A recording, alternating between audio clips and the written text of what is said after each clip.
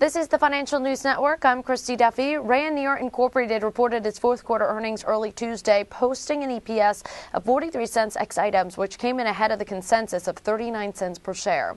Revenues for the quarter rose 1.8% year over year to $315.3 million, topping consensus of 297.2 million.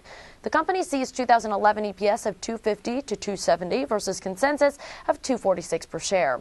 CEO and Chairman Lee Thomas commented, quote, We executed well in 2010, increasing our pro forma EPS from $1.50 to 224 per share, a 49% increase.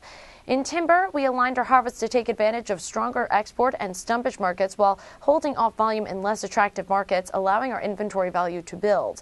In performance fibers, we had another record year driven by strong demand from our high purity cellulose specialties products and improved pricing for absorbent materials.